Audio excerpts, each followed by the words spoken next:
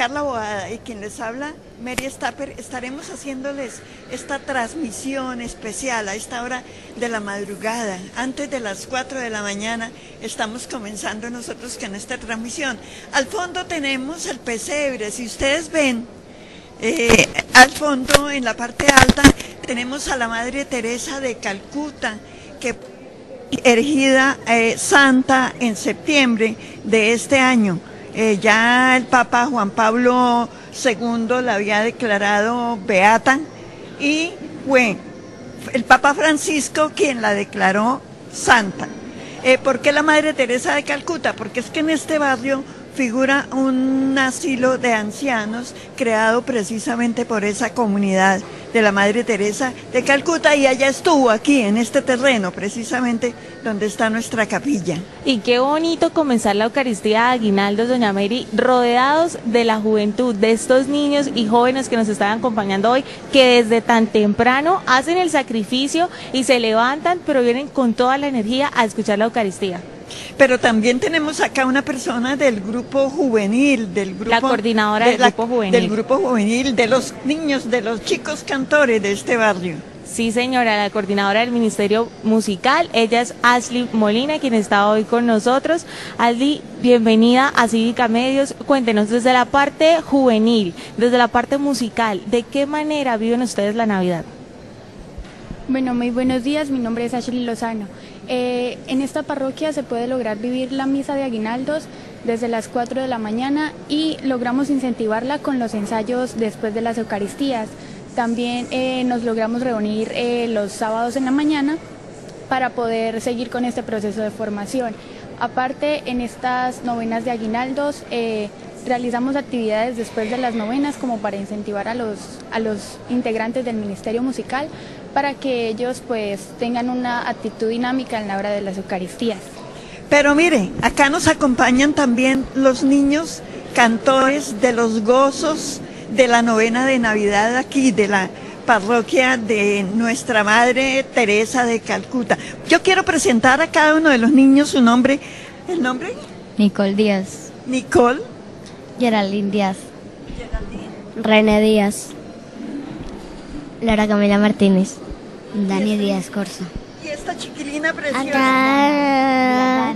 Dana. Nana. Dana, tú vives eh, la presencia del niño Dios. ¿Tú quieres mucho al niño Dios, Dana? Ah, Sí. mm, sí. Eres una niña preciosa, ¿lo sabías? Otra vez. ¿Y canta los gozos? Los. ¿Sí? ¿Cómo dices? Ven, ven, ven. ¿Cómo es que dices? No, eres una preciosura. Definitivamente lo más lindo de venir a la misa de Aguinaldos es encontrarnos con eso, con los jóvenes que hoy en día se animan y viven, gozan en sus corazones el espíritu de la Navidad. Pero ¿qué opinan los niños de la Navidad? Muy hermosa, la mejor época del año. Me gustan más las novenas porque las reunimos en familia y compartimos y cantamos todos juntos. Y a ver por acá, ¿qué es lo que más le gusta de la Navidad? Las novenas por, con- por estar por la, con la familia reunidos. ¿Y a usted qué es lo que más le gusta de la Navidad? Pues lo que me gusta más de la Navidad es cuando toda la familia está reunida, los más lejanos se vienen para una casa y el día del 24 cuando nace el niño, todos estamos reunidos, todos los niños pequeños reciben regalos y así podemos ver la felicidad que ellos tienen. Qué bonito. Pero Un aquí hay una de Navidad para todos los niños que están en casita. Que feliz Navidad y que aprovechen este día porque no hay como otros. Bueno, qué bien. Bueno, y yo les quiero contar que mm, al final de esta transmisión, nuestro director general estará entrevistando al sacerdote eh, que de esta parroquia. ¿Cómo es el nombre del sacerdote, Carla? David Molina. El padre David eh, Molina también nos ha hablado que nos han hablado que pertenece a esa corriente de sacerdotes progresistas que pone a cantar y que pone a vibrar a toda a toda su Sí, señora, es un párroco que se conoce por su carisma, por el don que tiene para explicar la homilía, la palabra de Dios. Bueno, eh, nosotros los queremos invitar. Ah, pero alguien me quiere decir cómo es la gente acá de, de siglo XXI. Los niños, ¿cómo son los niños del siglo XXI? Muy hermosa. Pues sí, cada vez que hacemos algo... mm, Son niños muy alegres y que tienen a Dios en su corazón porque eso se nota y eso se refleja al hacer el sacrificio de venir a las Eucaristías desde tan temprano. Pero es que mire esta preciosura, esta preciosura es lo más lindo que tiene el siglo XXI, ¿cierto? Sí. Sí. Eres lo más lindo, ¿no? Eres una niña preciosa. final de este día de aguinaldos en este hermoso sector de la ciudad de Cúcuta en siglo XXI, en esta hermosa parroquia de la Madre Teresa de Calcuta, de la Santa Madre Teresa de Calcuta, que de hecho eh, muchos cucuteños tuvimos la oportunidad de conocerle personalmente cuando vino a, a nuestra ciudad, ya hace varios años que estuvo por acá eh, visitando una de sus obras.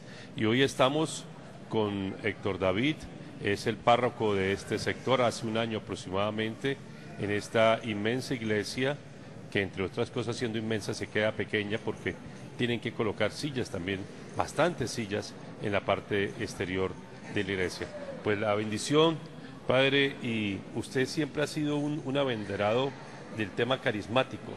¿Cómo, cómo va es, ese factor en, hoy en día en nuestra iglesia?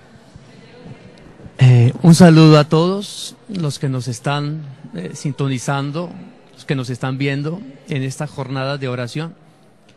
Eh, pues intentamos de la mejor manera, preparando y orando, llevar el mensaje de Jesús a todos los rincones, especialmente a los rincones del corazón de los jóvenes. Durante algún tiempo, casi cuatro años, eh, trabajé, serví en la renovación carismática. De allí viene todo el tema carismático. Específicamente trabajo con grupos juveniles. Y, la verdad, pues, eh, me gusta ese trabajo, me siento cercano a ellos. Hemos hecho algunos retiros, eh, algunos encuentros.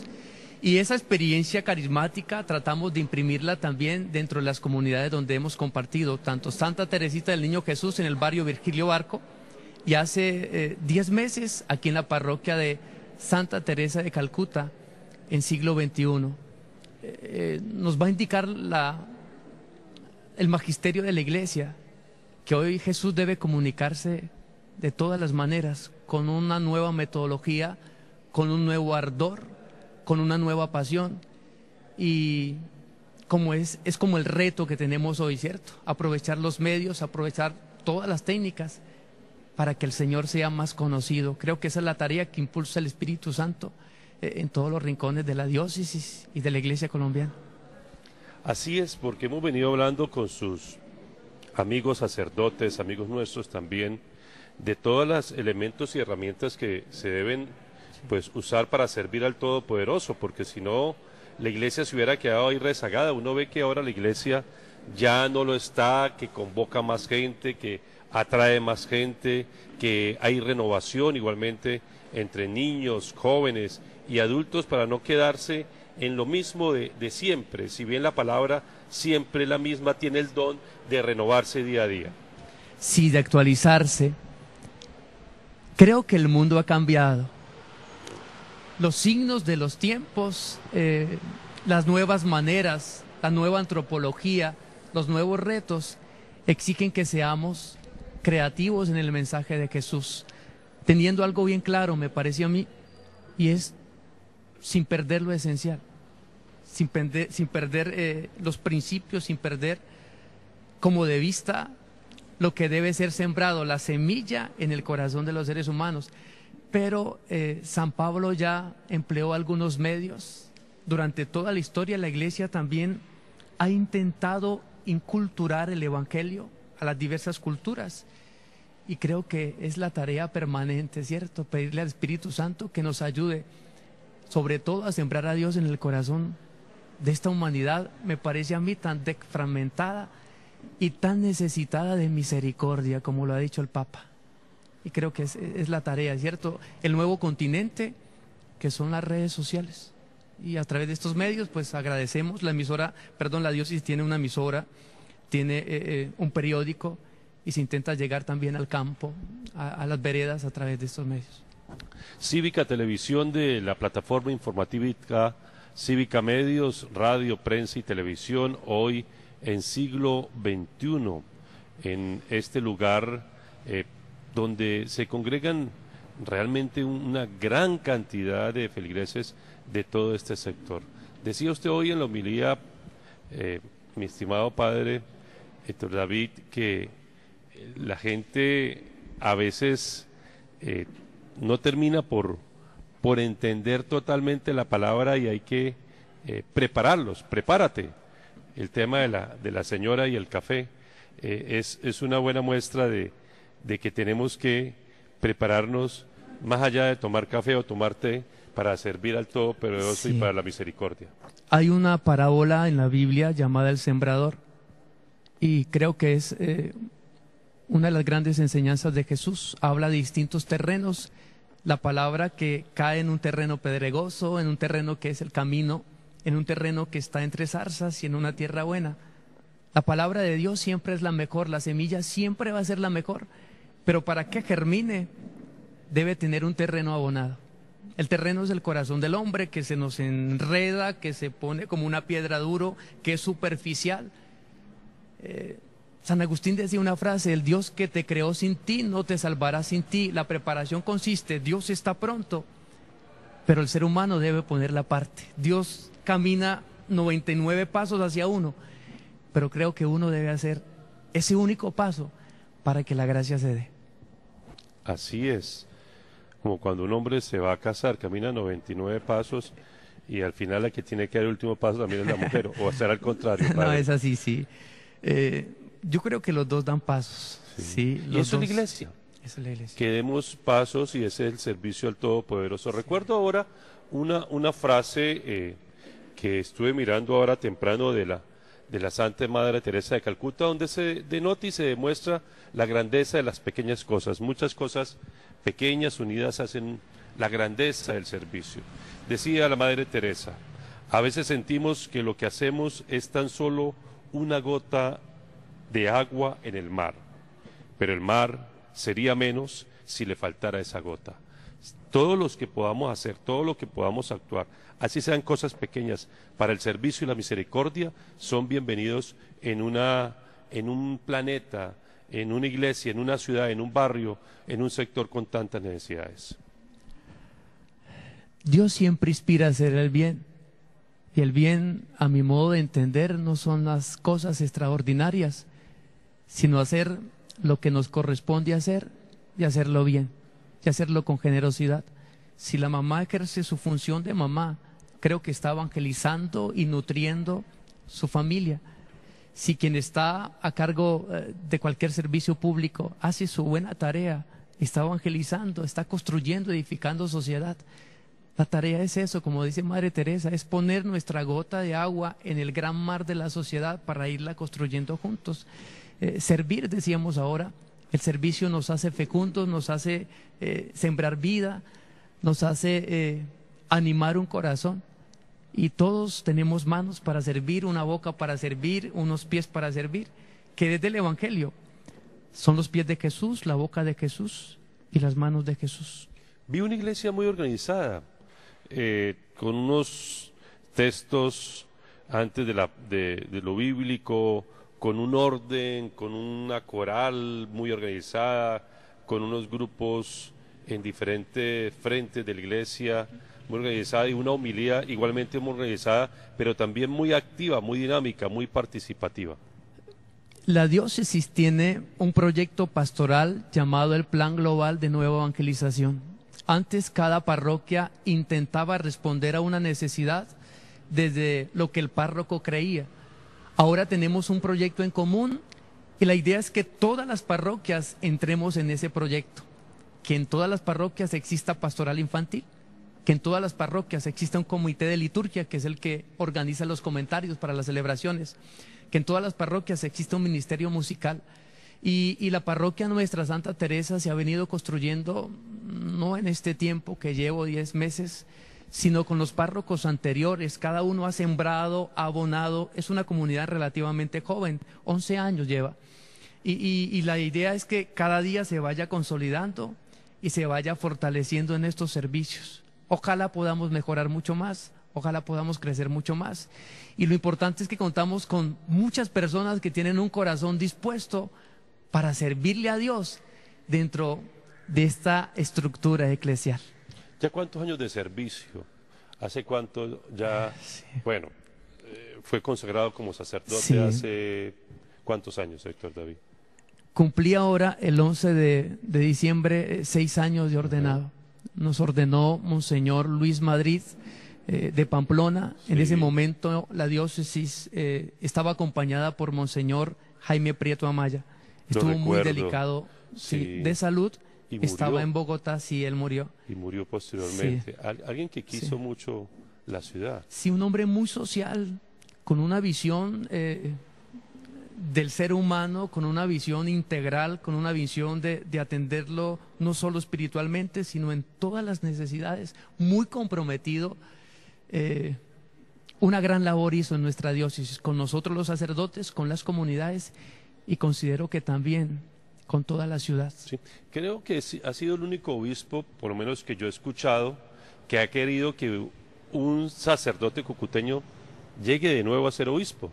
Esa era una, un- un- una idea que siempre le, le le escuché a Monseñor y que, bueno, los tiempos del Señor se dice que son perfectos y de hecho yo creo que son perfectos, pero también es hora también que ya un, un cucuteño llegue eh, a, ser obispo en nuestro país, una región del país con, con tantas necesidades espirituales, con tanto conflicto y que tanto ha dado. Somos una iglesia muy fuerte, una iglesia muy grande y que, que merece también tener esas representaciones. Pero bueno, ese no, no es un punto de, de discusión que creo usted esté como muy dispuesto a dar porque por disciplina no lo dan, pero, pero creo que eso, eso enamora también, padre. Nosotros contamos aquí hace algunos años con Monseñor Oscar Urbina. Sí. Él es de la región de Arboledas Sí. y nos acompañó un tiempo. Eh, yo apelo a la palabra de Dios. El Señor dice, rogad al dueño de la mies que envíe obreros a su mies. Y aunque nosotros lo queramos, creo que debemos pedirlo a Dios también, ¿cierto? El obispo eh, de nuestra tierra, de Cúcuta, de alguna región de Cúcuta. Y seguramente, como usted indicaba, los designios de Dios en su tiempo, como pasó en el Evangelio de hoy, en su debido tiempo. Puede que eh, el Señor nos regale ese don, ¿cierto?, de contar con un obispo aquí de nuestra ciudad. Regresando un tanto a lo carismático, eh, siento que en algún momento eh, el tema, como diría mi abuela, se desmadró. Eh, no sé si en determinado momento fue malentendido, pero, pero lo carismático es fundamental y no hay que tenerle temor porque creo que es, fundament- es muy importante para una iglesia renovada, lógicamente manteniendo siempre los principios y los caminos de, de la iglesia. La iglesia es eh, neumatológica, nace en Pentecostés. Todos somos carismáticos porque hemos recibido el Espíritu Santo, es el que nos invita a orar, el que nos mueve a hacer el bien, el que nos pone en oración, el que nos hace sentir misericordia y compasión por el otro. Los excesos siempre hacen daño. Cuando eh, la mente, el corazón no está formada, cuando la fe no es lúcida, siempre llevamos la experiencia de Dios a un extremo y todo extremo es dañino, puede ser vicioso. Los griegos decían que la virtud está en el medio. Y la idea es eso, el tema carismático. eh, en un momento hubo como exageraciones, mm, malos entendidos, malas interpretaciones, y llevó a que consideramos, consideramos lo carismático como, eh, como solo fanatismo, o solo eh, bulla, o solo levantar las manos, cuando la experiencia del Espíritu Santo es una experiencia de conversión, de encuentro personal, de oración, de conocer más a Jesús. Y, y estamos convidados a eso. Creo que entre más espacio le abramos al Espíritu Santo, que es el amor de Dios, más pasión vamos a sentir para comunicar a ese Cristo que no se nos convertirá en un cuento, sino que seremos testigos eh, veraces de ese amor que el Espíritu suscita en nosotros. Estamos en siglo XXI, vamos a cerrar ya, pero no quisiera irme de siglo XXI sin preguntarle ¿Cómo está la comunidad? ¿Cómo siente el sector? ¿Cómo van las cosas? Esta comunidad es como el corazón de Madre Teresa. Es un templo muy hermoso, muy bonito. Lo pensaron, me parece que muy bien. Acoge personas no solo de la parroquia, sino también de otros sectores aledaños. Tiene unas grandes puertas que en el fondo nos están indicando eso, que el corazón de Dios es abierto. Es una comunidad, lo indicaba hace un instante, joven, muy dinámica, muy dispuesta, con un hambre de Dios y una sed de Dios y, y un anhelo a servir. Yo podría decir hoy, vamos caminando, vamos creciendo. Dios va haciendo la obra en nosotros a través de instrumentos de los sacerdotes que han pasado por la comunidad, de cada uno de los agentes pastorales, de las familias que se van involucrando en esta experiencia de evangelización. Poco a poco, ahí vamos creciendo, ¿cierto? Es una comunidad, reitero, eh, muy alegre, eh, muy creyente. Y aquí en este lugar nos congregamos permanentemente pues para escuchar la palabra de Dios y dejarnos orientar por él y luego poderla llevar a las casas, al trabajo, a la familia, a la vida de todos los días. Cerremos esta transmisión, Padre Héctor David Molina.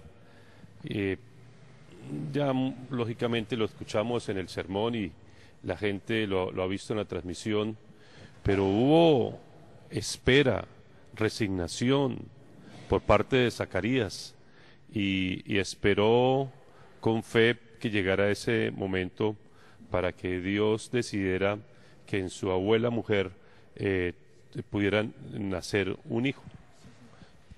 Hoy lo enfoqué eh, pues hablé de, un Zacarías que acompañó a Isabel de la mejor manera, sin recriminarle que era estéril, porque era un hombre justo. Lo que hizo fue acompañarle y comprenderla en ese sufrimiento personal que ella tenía. Tanto que legalmente en el pueblo judío él la pudo repudiar y decirle, ya no quiero vivir contigo. El pueblo judío podía repudiar porque a la esposa le quemaba la comida y decirle, ya no vivo contigo. Me sorprende que Zacarías permaneció con ella. Pero también Zacarías es un hombre perseverante. Lo indiqué al final, la fidelidad a Dios. Esperó, creyó en Dios, creyó en sus promesas, pasaron los años, se veía como lejana, pero no dejó de esperar. Y en el tiempo oportuno, Dios concedió, dice el texto en el ángel hoy, Dios escuchó su oración, creo que es un llamado a todos. Una oración perseverante, una oración permanente. Una fe que debe convertirse no solo en una religión, sino en una relación con Dios personal donde nos estamos comunicando permanentemente con Él, a ejemplo de Zacarías y a ejemplo de Isabel. Pues el que persevera alcanza, dice mi abuelita. Así que, Padre Héctor David Molina, muchas gracias eh, por habernos acompañado y, aquí estaremos acompañándole eh, permanentemente en, diferentes actividades de su iglesia. Eh, Bienvenido siempre. Las puertas de nuestra parroquia están abiertas. Saludamos a todos los que nos ven. Especialmente pienso en los enfermos, en tantos que están hambrientos de la palabra de Dios. Saludo a las familias, a las amas de casa, eh, a quien en esta mañana nos está sintonizando o a lo largo del día sintonizará este canal. Una bendición grande para todos en el amor de Dios. Un bendecido adviento, una feliz Navidad y desde ya un año nuevo lleno de toda la gracia de Dios.